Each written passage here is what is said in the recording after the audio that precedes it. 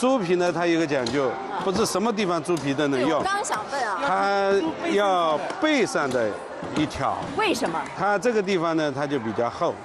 像我们的呢，你就这里一到，你就能看得出来，这里薄，慢慢慢慢慢到这里之后，那猪皮就开始厚了。就是所以要对对对对对对要要，所以这块儿就是猪身上最好的那块对对对对，最厚的。对精品皮。精心挑选的猪皮，其实就是用来制作我们最常吃的猪皮冻。不过，想要做出口感绝佳的皮冻，杨大哥必须把猪皮放在热水中焯一下，这样才能让猪皮上多余的部分清晰地显露出来，方便去除。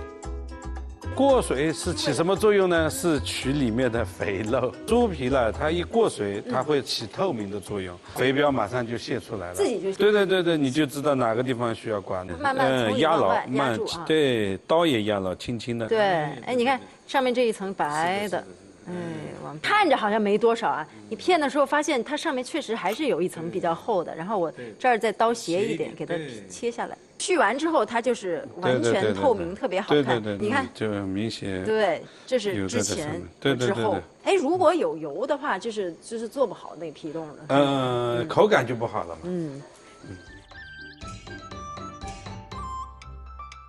附着在猪皮上的油脂会直接影响肉皮冻凝固，这是因为在加热时，油脂会混入充满胶质的汤中，稀释胶原蛋白的浓度。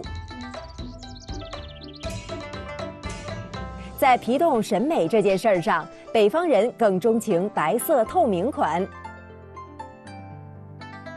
但对浙江人来说，加入了酱油的棕红色皮冻才承载着他们浓浓的乡愁。